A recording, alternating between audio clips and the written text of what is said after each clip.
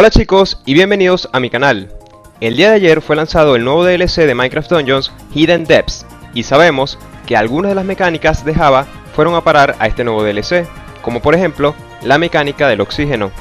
Y para ello implementaron una serie de zonas con respiraderos, pero si nos fijamos, estas zonas de donde salen las burbujas de aire parecen un bloque de magma azul. ¿Realmente será magma azul?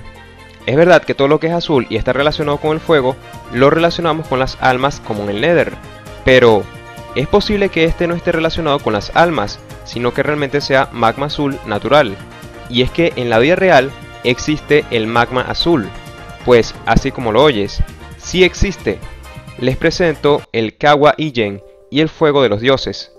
Situado en Indonesia, podemos encontrar un volcán de 2386 metros de altura, el cual es capaz de escupir al exterior lava de color azul. ¿Cómo es posible esto?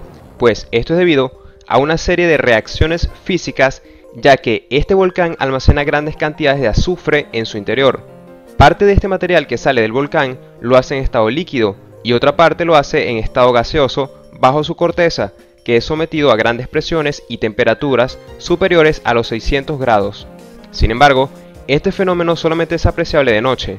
Al contacto con el oxígeno, los gases de azufre arden, pero debido a un descenso drástico de su temperatura, hace que el gas se licúe y se convierta en líquido de color azul brillante, gracias a la presencia en su interior de dióxido de azufre. Lo irónico del asunto que estos lugares tienen un aire que es irrespirable. La cuestión es que puede que estos respiraderos de posiblemente magma azul hayan sido inspirados en este fenómeno de la vida real, que ocurre en el volcán de Ijen, debido a la cantidad de azufre que este contiene. Si te gustó esta investigación, no te olvides dejar tu like, comentar qué te pareció, compartir y suscribirte. Esto fue Vladimir, un juegazo y a dormir.